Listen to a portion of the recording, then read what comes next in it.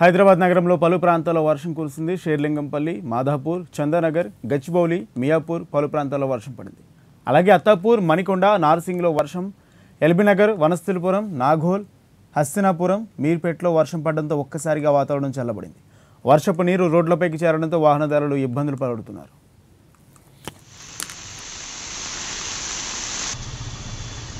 Praveen?